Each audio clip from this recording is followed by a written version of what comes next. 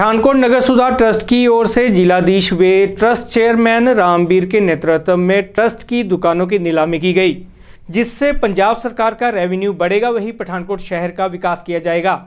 इस नीलामी में शहर वासियों ने भाग लिया। नंबर शॉप नंबर सतवंजा रकबा दो सौ तिहत्तर फुट तेरह। नाम बोलो। रमन। तेरह अस्सी जी तेरह नब्बे ट्रस्ट ने इसमें अप्लाई किया था और अभी प्रोसेस क्योंकि चल रहा है, अभी तक सात जो है कमर्शियल प्रॉपर्टीज़ का ऑक्शन हो चुका है।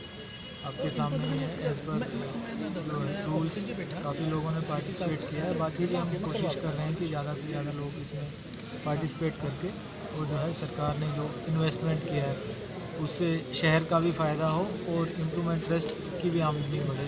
ताकि इतनी बड़ी अच्छी मार्केट है उसमें बहुत ही खुली पार्किंग है और सारी फैसिलिटीज़ हमने प्रोवाइड की हैं तो वो सब शहर के व्यापारी उसका फ़ायदा उठाएँ और शहर को ज़्यादा से ज़्यादा फ़ायदा हो।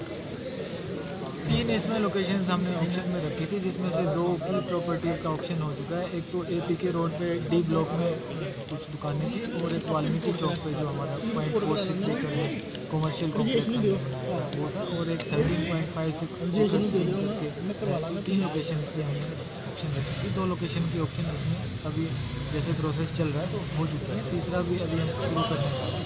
तो हमें उम्मीद है कि ज़्यादा से ज़्यादा इसमें लोग पार्टिसिपेट करें और इन लोकेशन को कामयाब करें।